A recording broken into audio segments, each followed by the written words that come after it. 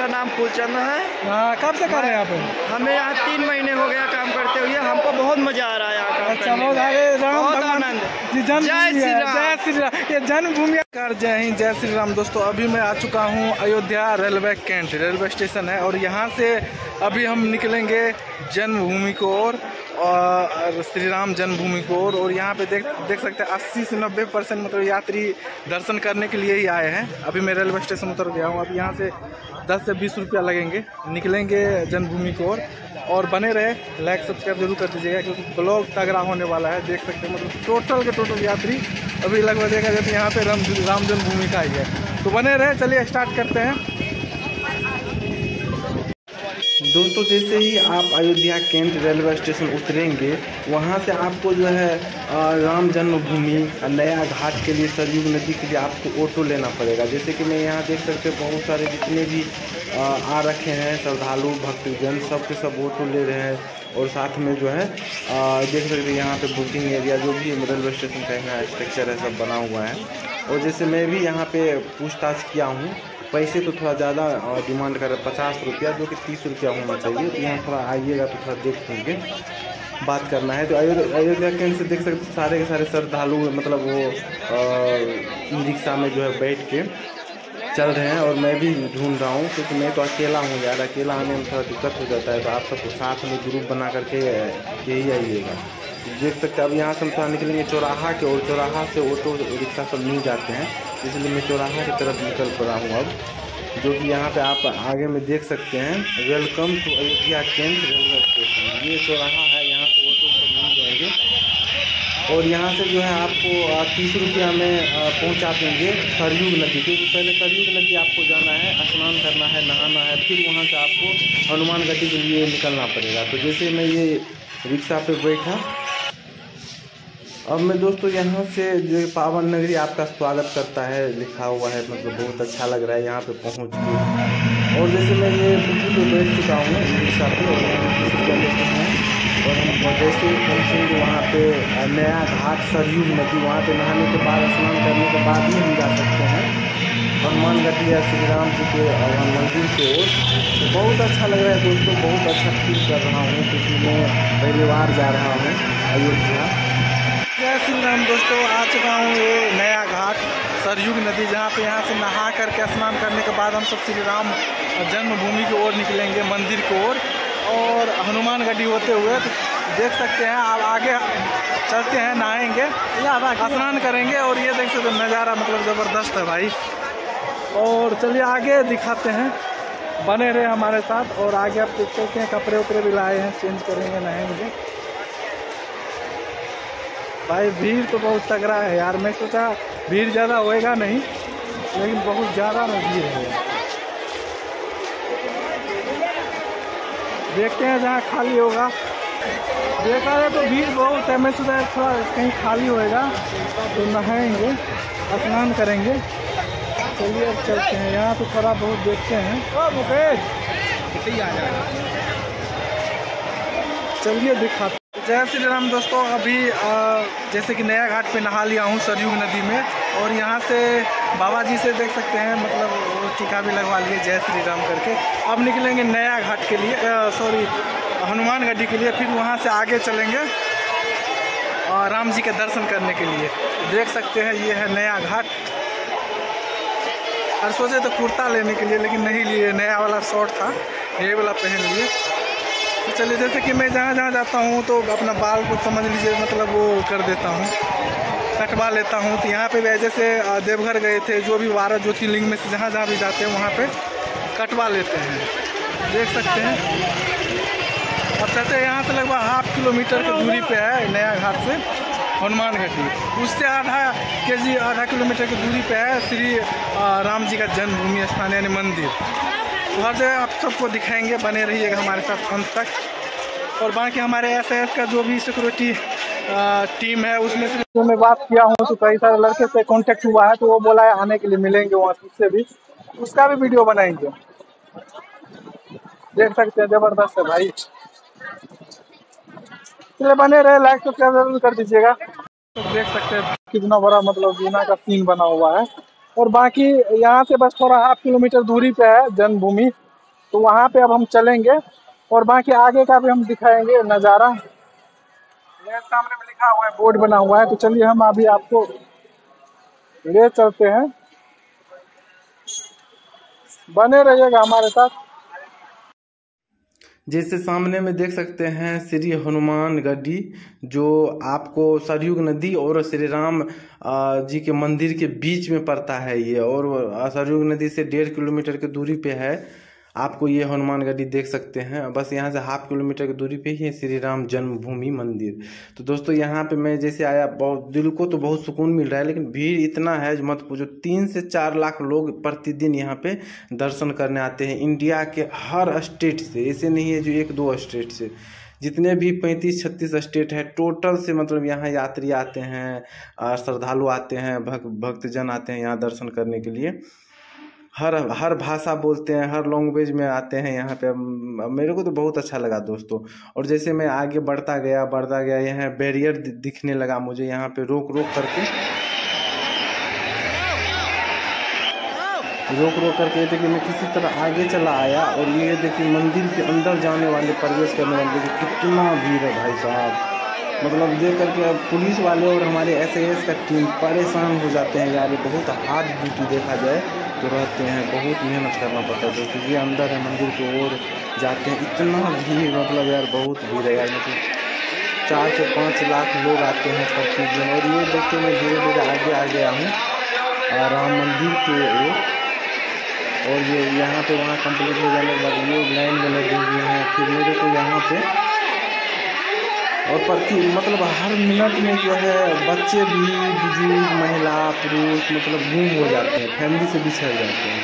बिछड़ उससे प्रचार भी किया जाता है। अब देखिए, मैं यहाँ अगर लास्ट बैरियर पे आ गया हूँ, यहाँ पे मैं अपना मोबाइल वोबाइल सबमिट करके अपना यूनिफॉर्म पहन के अंदर जाऊँगा अपने दर्शन करने के लिए। और मेरा सिक्योरिटी टीम में से एक लड़का मेरे को करवा दिया, अंदर जा, ले जा करके। बहुत अच्छा लगा। और बहुत भीड़ मतलब एक ग्रुप में पाँच हज़ार लोग रहते हैं, उसको छोड़ते हैं पंद्रह मिनट, बीस मिनट पे। देख सकते हैं हमारे सिक्योरिटी टीम है, और धीरे धीरे धीरे धीरे मतलब इतना भीड़ देखा, भाई दिमाग हैंग होने लगता है यार, यहाँ पे अगर एक बार आ जाए जवान, बुज़ुर्ग, हर अंदर में मतलब यार क्या बताए, गर्मी में तो और बुरा हाल हो जाता है, बेहोश होकर के गिर जाता है, उसको किसी तरह निकाले जाते हैं।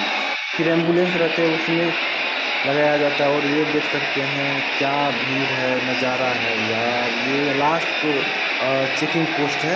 यहाँ से आपको सीधा अंदर जन्मभूमि की ओर ले जाया ले जाया जाता है।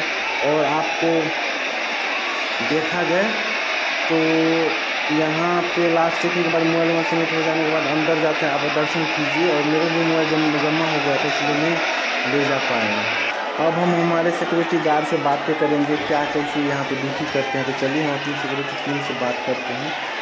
और आ, बहुत अच्छा लगा दोस्तों मेरे को यहाँ पे आया मतलब दिल को सुकून मिला। चलिए हम आगे आपको हमारे सिक्योरिटी टीम से भी बात करेंगे वीडियो बनाएँगे। तो उसको भी आप थोड़ा देख लीजिए कि कैसे कैसे ड्यूटी क्या क्या करना पड़ता है यहाँ पे। इतना भीड़ दोस्तों नहीं मिला पीछे भी बात दिखाऊँगा। तीन से चार लाख लोग आते हैं प्रतिदिन तो आप समझ सकते हैं। यहाँ का नज़ारा। तो चलिए मैं बात करता हूँ हमारे टीम से। नमस्कार, जय श्री राम दोस्तों दोस्तों, मैं अभी आ चुका हूँ अयोध्या श्री राम जन्मभूमि, जहाँ पे हमारे एस एस के जवान भी यहाँ पे ड्यूटी कर रहे हैं और हमें दर्शन भी कर लिए किसी तरह। और वहाँ के हमारे साथ में हमारे भाई है, जो भाई ने दर्शन भी करवा दिया ठीक ठाक बताइए भाई क्या नाम है? जय सबसे सबसे पहले जय श्री राम जय श्री राम दोस्तों क्या नाम है सर? मेरा नाम कुलचंद है। हाँ कब से कर रहे हैं आप? हमें यहाँ तीन महीने हो गया काम करते हुए हमको बहुत मज़ा आ रहा है यहाँ का अच्छा बहुत आनंद। जी जन्मभूमि जय श्री राम। जय श्री राम। ये जन्मभूमि है तो मज़ा तो आएगा मज़ा तो आएगा ही। तो एक बात बताइए यहाँ पे कितने मैन पावर है हमारे यहाँ पे यहाँ पे अयोध्या में? यहाँ पे सर 600 प्लस है अभी। 600 प्लस जी। और दोस्तों आप सब अगर करना चाहे आने वाले आने वाले समय में हो सकता है ऐसे रहा तो यहाँ पे हमारे हो सकता है डबल हो सकता है। डबल भाई हज़ार का तो मुझे पता है हज़ार होने वाला है दोस्तों बहुत जल्दी। और देख सकते हैं चेकिंग यहाँ पे करते क्या है यहाँ पे काम क्या रहता है अरे यही सेवा सेवा करना। करना। सही है। और दोस्तों जैसे कि देख सकते हैं पीछे में भाई इतना मतलब लंबी लाइनें लगे हुए हैं लेकिन ये भाई साहब अभी उसको रोक रहे हैं। कितने बजे कितने बजे तक रुका रहेगा? ये बीस मिनट के लिए रोका जाता है। अच्छा, अच्छा। भगवान को भोग वोग लगता है हाँ। होता है उसके बाद फिर खोल दिया जाता है। अच्छा अच्छा। दोस्तों बहुत ही खतरनाक है मेहनत। भाई लोग का इतना है मतलब मत बताइए। इतने मतलब लाखों की संख्या में प्रतिदिन आते हैं। सबको संभालना भाई सबका यही काम रहता है। और कभी थकते थकते तो नहीं नहीं है? नहीं कभी नहीं सकते भगवान के दरबार में कोई थकता नहीं है। अच्छा अच्छा अच्छा, अरे यार बंदर को देखिए थोड़ा झूला भी है मोबाइल भी लेके भाग जाएगा। तो और बताइए इधर आ जाइए सर। तो फिर ये जो है यहाँ पे मैन आठ घंटे का ही ड्यूटी रहता है ना? यहाँ पे आठ घंटे का ड्यूटी रहता है। अच्छा सैलरी लगभग मिनिमम कितना है? सैलरी तो सब मिल जाता है ठीक ठाक ही मिलता है। अच्छा ठीक ठाक ओवर टाइम भी मिलता होगा। जी जी ओवर टाइम भी मिल जाता है। अच्छा अच्छा और क्या कुछ अलग फ़ायदा फैसिलिटी क्या सब है अरे सब कुछ तो यहाँ पे भगवान के दरबार में सब फैसिलिटी हाँ। फैसिलिटी ही है। खुल गया खुल गया खुल गया। दोस्तों देख सकते हैं। बहुत लंबा भीड़ हो गया चलिए ठीक है दोस्त ड्यूटी कीजिए ये देखिए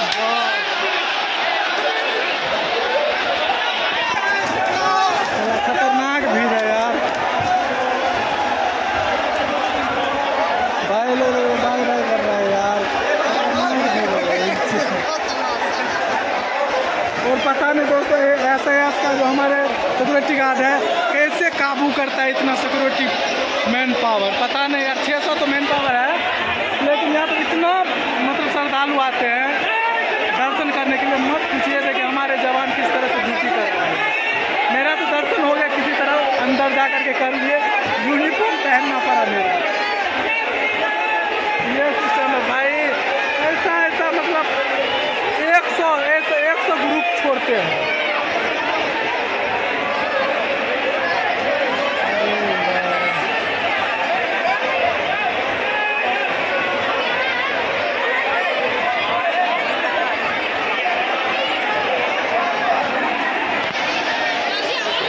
ये लास्ट चेकिंग पोस्ट है लास्ट चेकिंग करते हैं यहाँ पे इसके बाद सीधा मोबाइल वोबाइल यहीं पर जमा होता है। चेकिंग करने के बाद लास्ट सीधा मंदिर में दर्शन करने के लिए जाते हैं। तो ऐसा सिस्टम है। दोस्तों, बात करते हैं जो अयोध्या राम मंदिर दर्शन करने के लिए आइएगा तो कितना खर्चा पड़ेगा। दोस्तों, यहाँ पे अगर आप आते हैं तो मान लीजिए किसी भी स्टेट से आते हैं तो आपको अयोध्या कैंट रेलवे स्टेशन पहुँच उतरना है, चाहे अयोध्या धाम रेलवे स्टेशन उतरना है तो पास में ही है। आप अगर अयोध्या कैंट रेलवे स्टेशन उतरते हैं तो वहाँ से आपको 30 से 50 रुपया किराया लगेगा अयोध्या राम मंदिर आने में। अगर अयोध्या धाम उतरते हैं रेलवे स्टेशन तो आप पैदल ही आकर के सीधा सरयू नदी जा सकते हैं। और ज़्यादा मतलब वो तीस, चालीस रुपया भी आपका बच जाएगा।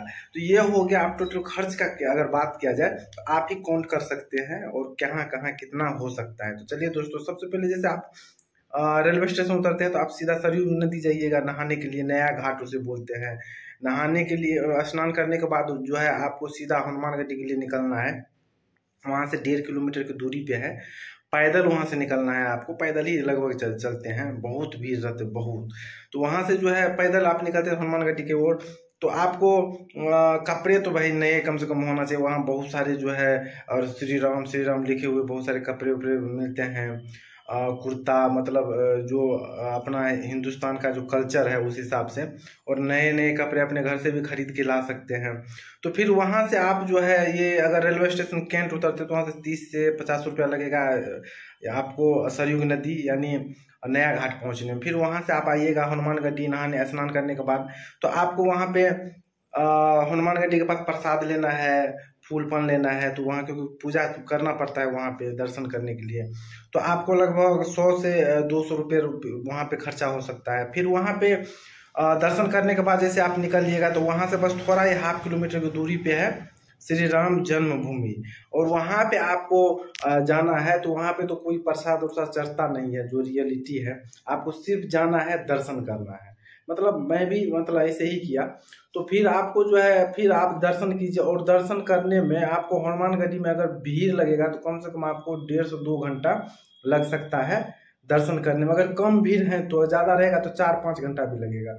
फिर आप अपने टाइम मैनेज करना पड़ेगा। आप कुछ ना कुछ खाना पीना पड़ेगा तो आप अपना देख लीजिएगा।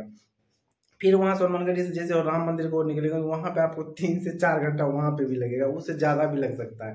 क्योंकि इतना भीड़ चार पाँच चेकिंग पोस्ट रहता है, मोबाइल जमा करो लॉकर फ्री वाले रहते हैं, जहाँ पे आप अपना बैग पैसे, और पैसे तो छोटे मोबाइल वोबाइल जमा कर सकते मोबाइल अलाउ नहीं है राम मंदिर में।